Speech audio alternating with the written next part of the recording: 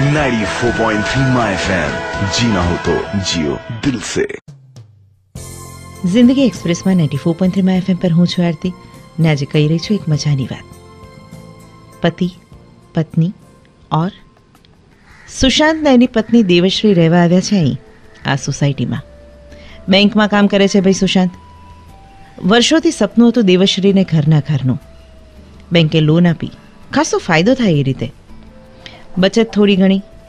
ને દેવશ્રી પોતે ટ્યુશન્સ પણ કરે મેથ સાયન્સના. લેવાઈ ગયું ઘર. મજાની નાનકડી સોસાયટીમાં ઘરનું ઘર. નાનકડો વરંડો. આજુબાજુ દેવશ્રીએ સજાવેલા મોગરાના કુંડાઓ. ને એવો જ મજાનો હિંચકો. કાળજીથી સજાવેલું દેવશ્રીએ ઘર. ને સંસાર પણ. સુશાંત બેંકથી આવી જાય પછી દેવશ્રી ટ્યુશનમાંથી પરવારીને ચા લઈને ગોઠવાઈ જાય સુશાંતની બાજુમાં. હિંચકાની દરેક ઠેસ પર સપનું સજતું જાય. સુશાંત આપણી પાસે થોડા પૈસા આવે ને, એટલે આપણે એક મજાની મ્યુઝિક સિસ્ટમ લઈશું. પછી અહીં બેઠા બેઠા ગીતો સાંભળીશું. થોડી મહેનત કરીને હોંગકોંગ દુબઈ ફરી આવીશું. ભવિષ્યમાં મારી ઈચ્છા છે કે આ મકાન પર બીજો માળ કરાવી નાખીએ. સુશાંત દેવશ્રીને વચ્ચે જ રોકતો. ને એના કાનમાં કહેતો, મારી ઈચ્છા છે, આપણે ત્યાં મજાનું બાળક હોય. રાહ નથી જોવી મારે. ને દેવશ્રી હિંચકાને અટકાવી દેતી. ના હમણાં નહીં, થોડા પૈસા આવી જવા દે.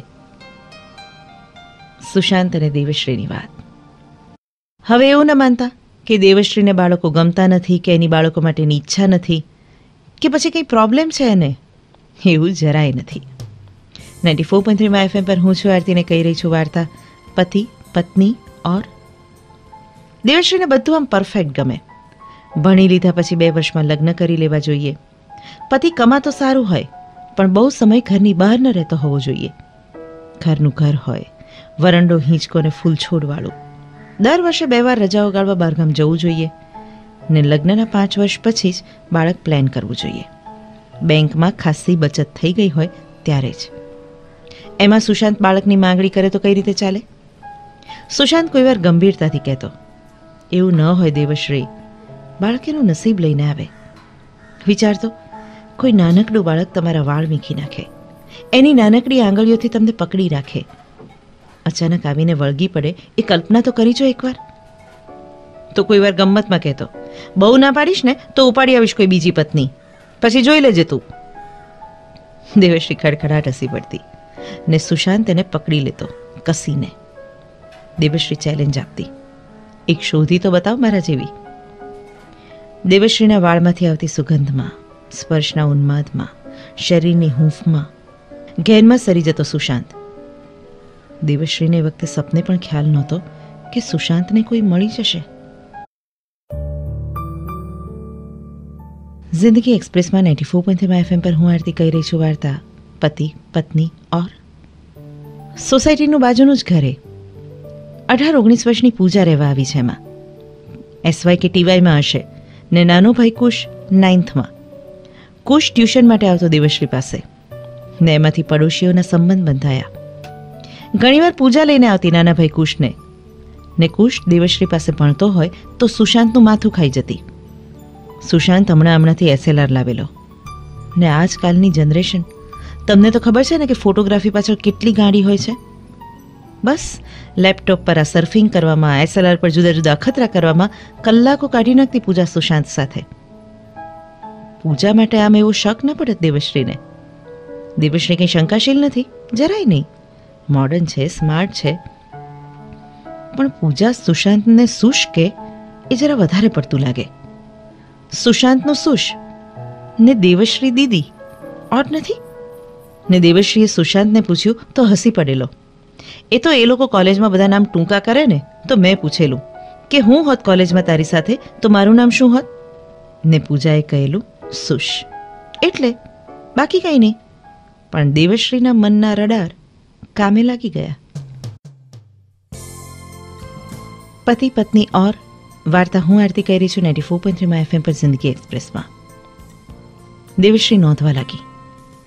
દેવશ્રી એકલી હોય ત્યારે પૂજા દેખાતી નથી. એ અને સુશાંત ખાનગીમાં કંઈ મોબાઈલ એકબીજાને દેખાડે છે. કહે છે એમ કે સુશાંતને સ્માર્ટફોન પર પૂજા એપ્સ ડાઉનલોડ કરી આપે છે. પણ તો પછી ખાનગીમાં એવું તો શું કહેતો હશે સુશાંત? કે પૂજા શરમાઈ જાય, વળી ખડખડાટ હશે. ને ક્યારેક તો, જાઓ ને, એમ પણ કહી દે સુશાંતને. નક્કી કંઈ ગરબડ છે. દેવીશ્રીને આઘાત લાગ્યો. સુશાંત, આવું કરે?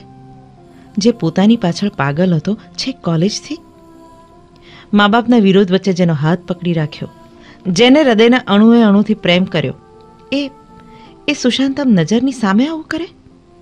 હાથ થઈ ગઈ.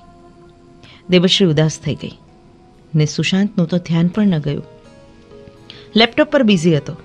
દેવશ્રી નજીક ગઈ. સુશાંતનું ધ્યાન પડ્યું ને અચાનક જ એણે લેપટોપ બંધ કરી દીધું. જાણે કે પકડાઈ જવાનું હોય. એણે દેવશ્રીની સામે જોયું. તબિયત સારી નથી. કે પછી બીજી કોઈ ચિંતા છે? જો મજા કરવાની લાઈફમાં, આ જો પૂજાની ભાષામાં કહું ને, તો ચિલ માર યાર. એન્જોય લાઈફ દેવશ્રીની શું દશા થઈ હશે? કલ્પી શકો છો ને તમે? જિંદગી એક્સપ્રેસમાં ninety four point three FM પર હું આરતી કહી રહી છું વાર્તા, પતિ, પત્ની ઓર. પૂજા લિપસ્ટિક લગાવતી નહોતી કે સુશાંતના શર્ટના કોલર પર ડાઘ શોધાય. ખિસ્સામાં સુગંધવાળો રૂમાલ, કબાટમાં નીચે છુપાવેલો પ્રેમપત્ર, કપડાં ધોતી વખતે અચાનક મળી આવતું હોટલનું બિલ. કંઈ કરતાં કંઈ જ મળતું નહોતું. બસ, પૂજા સવારે કોલેજ જાય ત્યારે અચૂક સુશાંત બહાર હોય. ક્યારેક થમ્સઅપની નિશાની કરે ને ક્યારેક ઈશારામાં ફોન કરીશ એવી સાઇન કરે. પૂજા એક ટૂંકા અને બાંય વગરના કપડાં પહેરીને બતાવવા આવે. ને હવે દેવશ્રીને લાગતું હતું કે, નામ ભલે પોતાનું દેતી હોય, બતાડવા તો સુશાંતને જ આવતી હશે. સુશાંત આગો પાછો થાય તો એનો મોબાઈલ પણ ચેક કરાય. પણ એવું બનતું નહોતું. એક તો એનો સ્માર્ટફોન હતો ને પોતે સાદી નોકિયા ફોનવાળી. સુશાંતના હેન્ડસેટમાં ખબરે પડવી જોઈએ ને? બીજું એ એટલું જલ્દી બાથરૂમમાંથી બહાર આવતો કે એવો ચાન્સ ન મળતો. ને ત્રીજું ને સૌથી વધુ શંકા થાય એવું કારણ. આજકાલ તો મોબાઈલ પણ સાથે લઈ જતો બાથરૂમમાં. કંઈ ખબર પડતી નહોતી. પણ એનું સ્ત્રી સહજ દિમાગ એને કહેતું હતું કે કંઈક ખોટું છે. ચોક્કસ ખોટું છે. જિંદગી એક્સપ્રેસમાં ninety four point three FM પર હું આરતી આજે કહી રહી છું વાર્તા. પતિ, પત્ની ઓર સરસ સજાવેલો સંસાર હોય. ને તમને ડગમગતો ને હચમચતો લાગે ત્યારે કેવી દશા થાય? બરાબર એવી જ થઈ દેવશ્રીની. એની ભૂખ મરી ગઈ. ચિંતાને કારણે મોં સુકાઈ ગયું. સુશાંતને એક બે વાર સિરિયસલી પણ પૂછેલું, આ પૂજાનું શું છે? સુશાંત એકદમ ઊભો થઈ ગયેલો. શું શું છે પૂજાનું? કંઈ નહીં. તો, અહીં આટલું કેમ આવે છે આપણે ત્યાં? સુશાંત ખભા ઉછાળીને બોલ્યો. મને શું ખબર? હું નથી હોતો આખો દિવસ ઘેર. તું હોય છે. તું જાણે. એની મમ્મી એ ફ્રેન્ડ છે ને તારી તો? એને પૂછ. ટૂંકમાં ગોળ ગોળ વાતો કરી સુશાંતે. ને જે સાંભળવી હતી પણ ઈચ્છતી નહોતી, એવું કંઈ સુશાંતે કહ્યું નહીં ને ચાલ્યો ગયો. હવે તો દેવશ્રીને ખાતરી થઈ ગઈ. કંઈ છે જે બરાબર નથી, જે કુદરતી નથી. કંઈક તો ખરું જ જે ન હોવું જોઈએ. ગમતું નહોતું તોય એણે જાસૂસી કરવાની શરૂ કરી. સુશાંતે બેંક જતાં જતાં પૂછ્યું ખરું, કેમ આજે તારા ટ્યુશન્સના છોકરાઓ નથી આવ્યા? ને દેવશ્રીએ પણ તૈયાર રાખેલો જવાબ આપી દીધો, મને માથું દુખે છે ને એટલે. ઓ દવા લઈ લે ને. એટલું ઉપર છેલ્લો બોલતો સુશાંત ચાલ્યો ગયો. ને દેવશ્રી નીકળી પડી એની પાછળ. જાસૂસી કરવા. પતિ પત્ની ઓર વાર્તા હું આરતી કરી છું ninety four point three FM પર જિંદગી એક્સપ્રેસમાં. સુશાંત ઘરેથી ગયો તો સીધો બેંકમાં જ, પણ વચ્ચે ઊભો રહ્યો ગિફ્ટ શોપમાં બહાર આવ્યો ત્યારે ચોકલેટનું બોક્સ હતું હાથમાં. પછી બેંક પર ગયો. દેવશ્રી ઘરે આવી ગઈ. પણ સુશાંત બેંકમાંથી પાછો આવ્યો ત્યારે હાથમાં ચોકલેટનું બોક્સ નહોતું. બેંકમાં કોઈની બર્થડે કે પાર્ટી કે એવું કંઈ હતું, એવું દેવશ્રીએ ફેરવી ફેરવીને પૂછી લીધું. કંઈ જ નહીં. કુટુંબ કે મિત્રોમાં કોઈને ત્યાં કંઈ બન્યું હોય એવું પણ નહોતું. કોને માટે હોય? ઓફકોર્સ પૂજા માટે. કારણ કે સાંજે ઘેર આવી ત્યારે ઉતાવળમાં અડધું તો બોલી જ ગયેલી. પેલી ચોકલેટ! ને પછી એકદમ ચૂપ થઈ ગયેલી. દેવશ્રીએ તરત પૂજા સામે જોયું. ને પછી સુશાંત સામે. પૂજાએ જીપ બહાર કાઢી હતી ને સુશાંત કંઈ જ ન બન્યું હોય એમ સવારનું છાપું ફરી વાંચતો હતો. ને એ ઊંધું પકડીને. ઘર બદલી નાખે. ખુલ્લમ ખુલ્લા પૂજાને પકડીને તમાચો મારી દે. સુશાંતને છૂટાછેડા આપી દે. પૂજાની મમ્મીને જઈને ચેતવે. કોઈ ગુંડાને રોકે. અદ્રશ્ય બનીને પીછો કરે. વશીકરણથી છુટકારો સોતનનો પ્રશ્ન, પ્રેમ સંબંધમાં ગેરંટી, આવી ખાતરી આપતા જ્યોતિષ પાસે જાય. શું કરે દેવશ્રી હજારો વિચારો આવી ગયા એને. પણ કંઈ ન થઈ શક્યું. બીજા દિવસની સાંજ. બેંકથી આવીને સુશાંત સીધો જ તૈયાર થયો. ગણગણતા. સરસ કપડાં પહેરીને. પરફ્યુમ છાંટ્યું. હમણાં આવું છે, એક બે કલાકમાં કહીને નીકળી ગયો. દેવેશની પણ સંતાથી પહોંચી પાછા. સિલ્વર સ્ટાર રેસ્ટોરાં જિંદગી એક્સપ્રેસમાં ninety four point three FM પર હું આરતી કહી રહી છું વાર્તા. પતિ, પત્ની ઓર સુશાંતની કાર પાછળ રિક્ષા ઊભી રખાવીને ઉતરી દેવશ્રી અંદર જઉં કે ન જઉં એવી અવઢવ એક ક્ષણ માટે જ થઈ. ને પછી આજે તો ફેંસલો કરી જ નાખું એવા મૂડ સાથે અંદર દાખલ થઈ ગઈ. આછો પીળો પ્રકાશ હતો.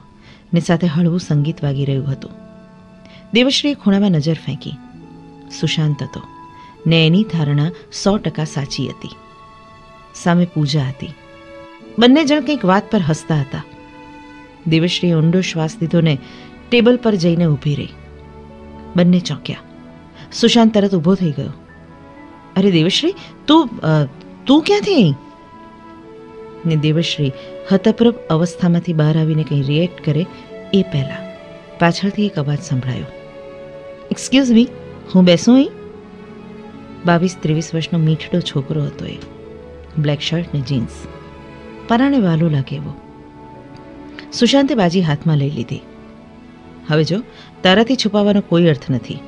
આ છે જૈનિશ. પૂજાનો બોયફ્રેન્ડ દેવશ્રીનો ચહેરો એકદમ બદલાઈ ગયો. એક ક્ષણમાં પામી ગઈ વાત.